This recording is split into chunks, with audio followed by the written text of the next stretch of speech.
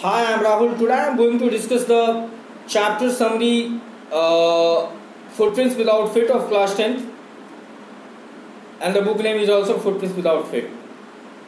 So guys, in this chapter, I know I want to tell you the information that this is written by H.G. Wells and this story is also taken from his uh, one novel, The Invisible Man. Okay.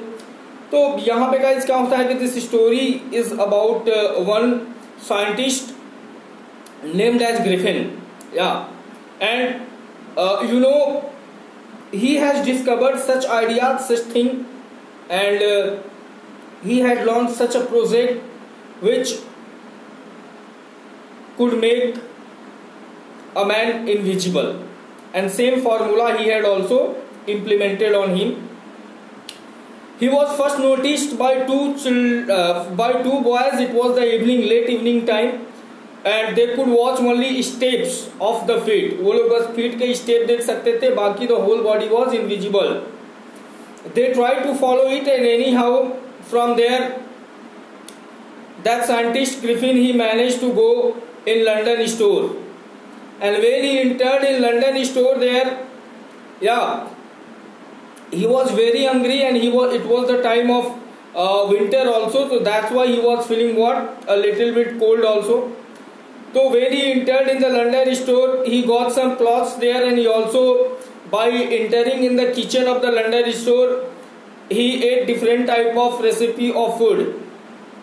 He enjoyed him so much and finally after taking meal after taking dinner he uh, there was one uh, you can say blankets were there so he slept there on the blankets but he could not wake up early in the morning that's why the employees of the london store when they returned back they found that जो Griffin था वो अभी तक सो रहा था और ये अचानक से आ, कौन सा आदमी आ गया है हालाँकि जब वो सारे कपड़े अपना थ्रो कर देता था निकाल देता था तभी वो क्या हो पाता था इनजिबल इनविजिबल हो पाता था कपड़े पहनने के बाद उसकी बॉडी विजिबल होती थी। तो जब वो आए तो देखे कि one man who was sleeping there on the blankets then they try to chase him Griffin ran away from there and भागते भागते वो अपना जो सारा कपड़ा था वो उसको निकाल के फेंक दिया ताकि वो इनविजिबल हो पाए।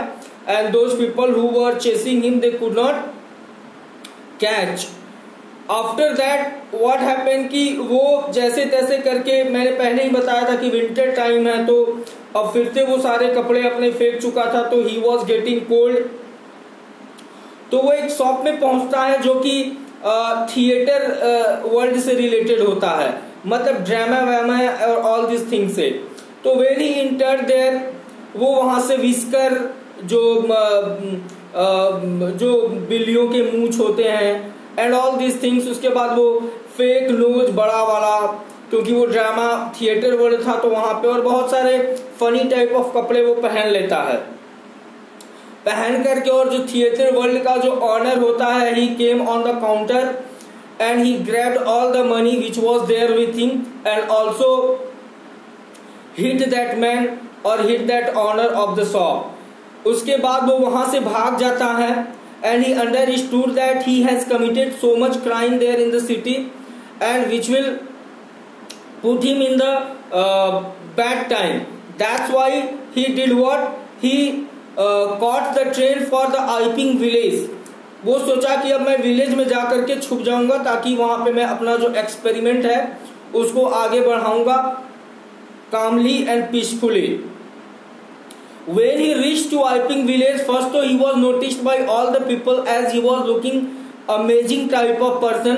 और विंटर टाइम में किसी गेस्ट का आना that was also the very amazing thing guys वहाँ पे एक होटल होता है जहाँ पे वो एक कमरा लेता है अपने लिए बुक करता है। और वहाँ पे जो होटल में वो कमरा बुक करता है उसकी जो मालकिन होती है Mrs Hall whose name is Mrs Hall she was also the owner of uh, hotel and she was very clever lady.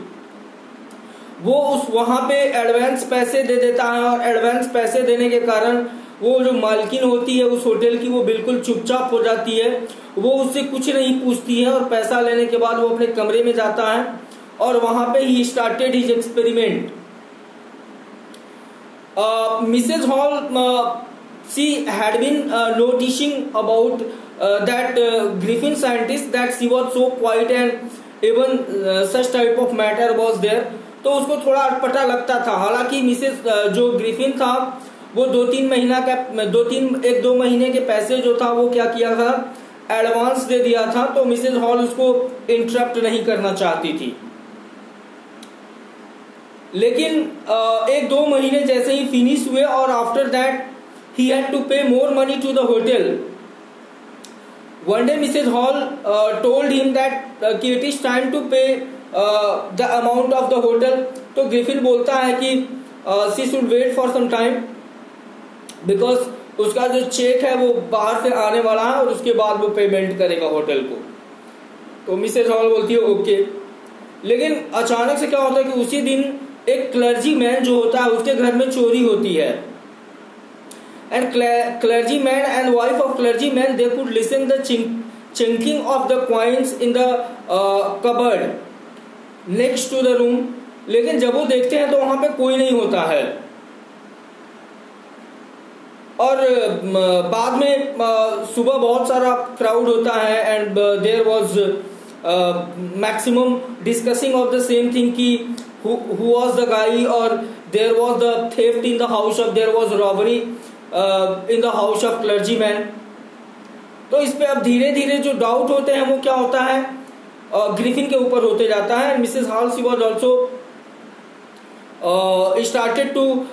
the suspicion on uh, uh, start to get doubt on uh, Griffin. और एक दिन उनकी उनका जो doubt है Mrs hall का doubt वो एकदम कंफर्म हो जाता है। When she could watch that One day she entered in the house of Griffin, then she could watch that Griffin was uh, uh, just uh, what half uh, visible and half invisible, and anyhow he was trying to throw the cloth. And by watching this, she uh, came outside of the room and she was making the uh, shouting. She was crying there.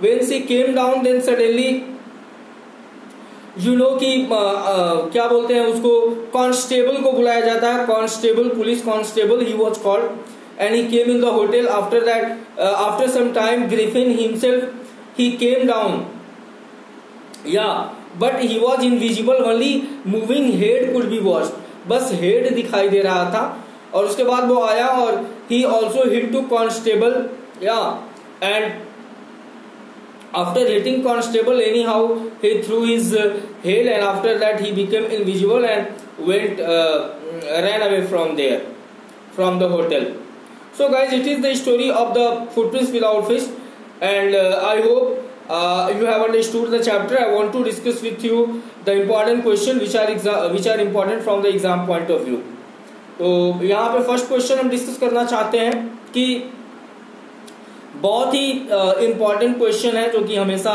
पूछते रहता है कि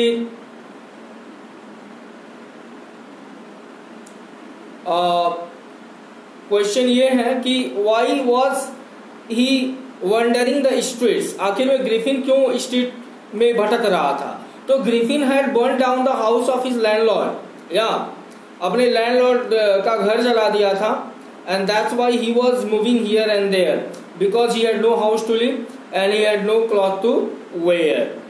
Another question is why does Mrs. Hall find the scientist eccentric? Eccentric means uh, creating doubt there. Okay, so uh, we can reply here. Griffin जो था he arrived at a hotel uh, in Iping village during the winter time. It was the winter season. I have already told you and uh, he also had a weird appearance different funny type of appearance and that's why he was a little bit uh, doubtful उसके बाद another question I want to discuss that what curious episode occurs in the story Answer is there. The clergyman and his wife they were awakened early one morning by noises in the study room. They could uh, listen the chunking of the coins. But when they went to find out what sort of sound is there they could not watch anything. Yeah. So it is the curious episode that occurs in the story. Thank you. I hope you have understood. Uh, i will be back with my another um, chapter summary video uh, if you have not subscribed the channel subscribe it to get the latest update of videos. If you have any comment put that in the comment box. Thanks